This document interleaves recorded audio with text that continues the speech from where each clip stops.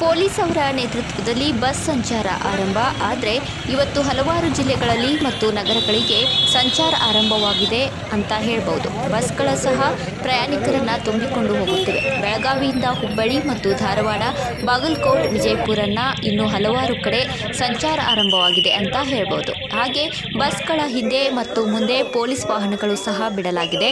ಅಂದರೆ ಯಾವುದೇ ರೀತಿ ಬೆಳಗಾವಿಯಲ್ಲಿ ಬಂದ್ಗೆ ಬೆಂಬಲ ಸಿಗ್ತಾ ಇಲ್ಲ ಅಂತ ಹೇಳ್ಬೋದು. ದಿನಚರಿ ಬಸ್ ಸಂಚಾರ ಆರಂಭವಾಗಿದೆ. ಪ್ರಯಾಣಿಕರು ಸಹ ಬಸ್ಗಳಲ್ಲಿ ಹತ್ತಿ ಪ್ರಯಾಣವನ್ನ ಬೆಳೆಸಿದ್ದರು. Big TV news, Belagavi.